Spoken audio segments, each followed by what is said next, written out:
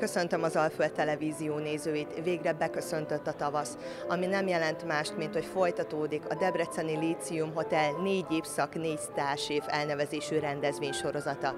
Az idei tavasszal Schreiner Gábor, a budapesti Nobu étterem sztárséfje látogatott el hozzánk. A Hotel Lícium minden évszakban megrendezi a négy évszak, négy sztárséf élményvacsora sorozatot.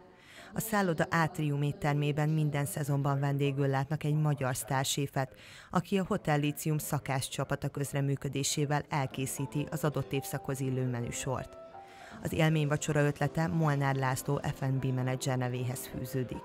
Próbáltam olyan ötlettel előrukolni, olyan élményvacsorával, ami még ebben a régióban nem volt. És innen indult ki ez az egész megpróbál olyan séfeket idehozni Debrecenbe, akik még akik nem nagyon szeretnek kimozdulni Budapestről, mert annyi munkájuk van, és megismertetni itt a, a debreceni közönséggel őket, és az ő általuk készített ételekkel. És ennek az apropóján itt most a Nobónak a séfje és a Steinen Gábor, és abban a kivételes helyzetben vagyunk, hogy hogy mi vagyunk az első olyan város, ahol nincsen Nobu ételem, mégis megkóstolhatják a vendégek a, a Nobu ételeit mivel négy évszak négy a rendezvénysorozatnak a neve. Tavaly évet a tavasszal a Szegál Viktorral kezdtük. Ő egy, ő egy tipikusan francia vonalat képvisel, egy francia menüsorral jött hozzánk. Aztán volt a Kovács Lázár, Lázár séf, ő egy, ő egy orosz menüt hozott, amelyen az megtisztelt jelenlétével az orosz konzul is a, a vacsora estet.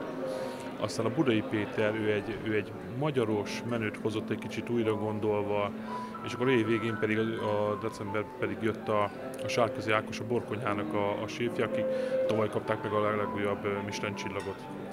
Idén pedig a Gáborral kezdünk. Nyáron jön hozzánk a, a most futó konyha ördögének a séfje Beleznei Tamás, szeptemberben visszajön hozzánk Lázár séf, és akkor az évet pedig a Giannival zárjuk egy olasz vacsorástel. A tavaszi szezon vendége Schreiner Gábor, a budapesti Nobu étterem séfje, a japán konyha világába kalauzolta a látogatókat. Gábor a Szigetország gasztronómiáján túl munkásságáról is sok érdekességet elárult kisgyermekként mindenki álmodozik egy foglalkozásról, hogy mi lesz, hogyha nagy lesz. Sokan tanárok, színészek, énekesek szeretnének lenni. Te mikor döntöttél úgy, hogy séf leszel? azt gondolom, hogy, hogy mindenkinek van egy, sokkal azt mondom, hogy a nagymama konyhája. Nekem ilyen nem volt. Én azt gondolom, hogy egy kicsit más korban nőttem fel, mint például az én fiam most, akinek túl nagy a választék, bár ő is szakács akar lenni. Édesapja után nagyon büszke vagyok, de nekünk gyakorlatilag akkoriban nem volt nagy választékunk. Nem volt sok minden, viszont egy csomó minden olyan íz volt, amire még ma is emlékszem. Hogy pontosan mikor döntöttem, nem tudom, de ez, ez meghatározó volt. Tehát most azt mondanám, hogy ha újra kezdhetném, újra séf lennék, vagy szakács tennék, séf azért túlzás csak az ételeket elkészíteni szereted, tálalni, vagy ugyanúgy szereted megízlelni, és ugyanúgy szeretsz enni is? A megízlelés nagyon fontos persze, de a legszebb része ennek a szakmának az, és, és azt gondolom, hogy, hogy keveseknek adatik meg ebben a szakmában az, hogy, hogy alkotni tudjanak. Tehát sokaknak van egyfajta, egy idillisztikus képe a szakásságról, hogy ez van egyfajta alkotó tevékenység, hát a hétköznapokban nem tehát 80-90%-ban nem egy alkotó tevékenység, viszont a 10-20% amikor az embernek adódik a lehetőség, hogy alkosson, azt gondolom, hogy ezért érdemes a szakmát választani. Szerinted mitől igazán jó egy séf? Milyen egy jó séf?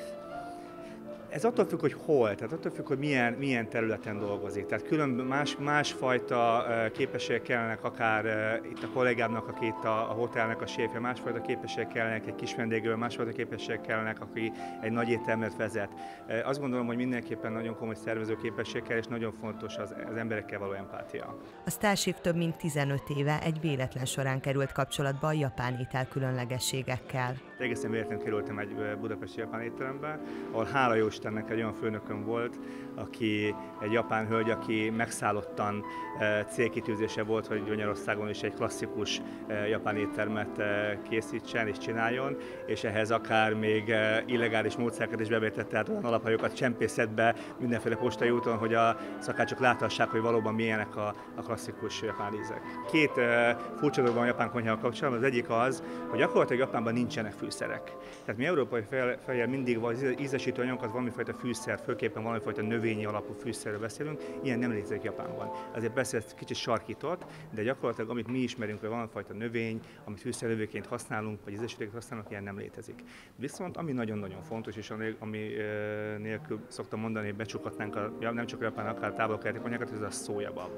Tehát a szójababnak, ha gyakorlatilag a, a egészen fiatal zsengehajtása már használják, és hogy mi lesz belőle, tehát hogy mit használnak belőle minden egyes érési lépésnél valami fajta fontos mozzanat van, ami a japán konyhában beépül. Azt gondolom, hogy szójabab lenne talán legfontosabb. Sokan megdöbbennének, akiknek ugye ebben a kép van a fejükben, hogy a japánok nyers halat esznek, sokan megdöbbennének, hogyha, hogyha kijutnak Japánba, tudnék, ilyen sok olajban sült és bundázó dolgok, mint amit a japánok fogyasztanak, hát azt gondolom, hogy Magyarországon sem.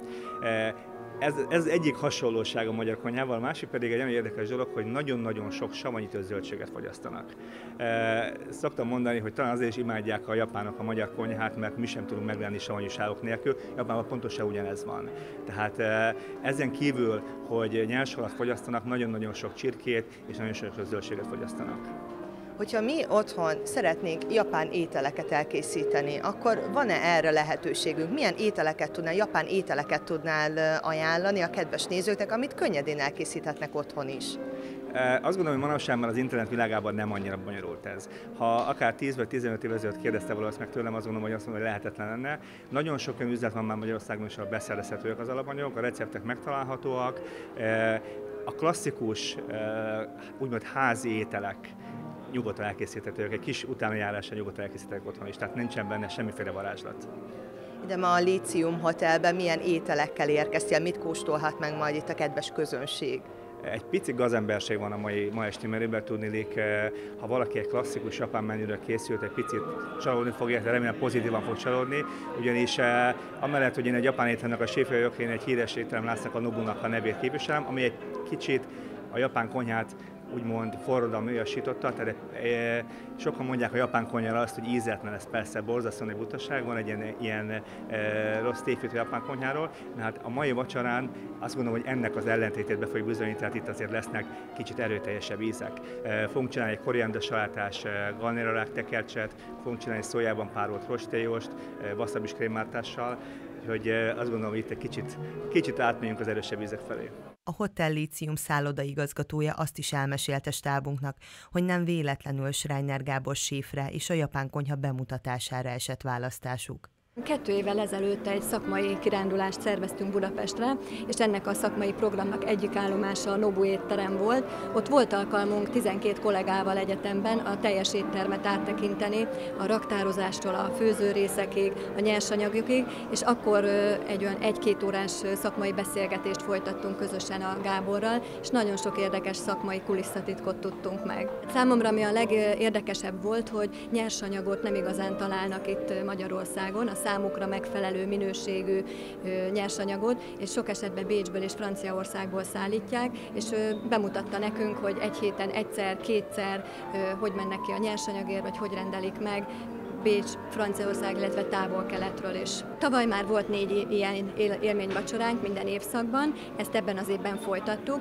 Úgy gondoltuk, hogy most egy kicsit valamely nemzetnek konyháját szeretnénk megmutatni, és tehát ugye a Nobu étterem az kifejezetten japán ízvilágot követ, ezért ezt választottuk. A négy évszak négy sztárséf élményvacsora sorozaton túl egyéb programokkal és a hétköznapokon is várja vendégeit a Hotel Lícium. Próbálunk színes kínálatot adni, nem mondom, hogy minden hónapban, de időnként, mint ahogy ez a évszakonként élményvacsora sorozat is.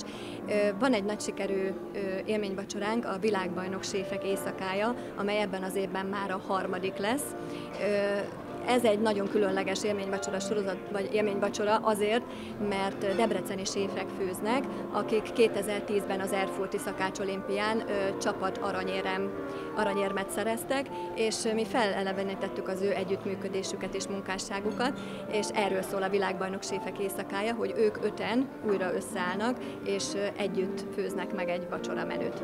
Nem csak az élményvacsora sorozatunkra, hanem bármilyen más alkalomra, vagy egyszerűen csak egy szimpla a étkezésre is érdemes hozzánk ellátogatni. Bizonyára látszik a képeken, hogy egy kellemes hangulatú átrium, átriumos éttermünk van, melynek a neve is ez, hogy átrium étterem, és eleve a kialakítás, de az ízvilág is olyan, amiért szerintem érdemes ide tévedni. Séfünk Breitenbach Rezső, aki maga is az olimpiai bajnok csapat egyik tagja, olyan ételekkel várja a vendégeket, mely egy kicsit a hagyományost is követi, de vannak olyanok, amelyek trendet is, úgyhogy azt hiszem, ha bárki eljön hozzánk, biztos talál kedvére valót.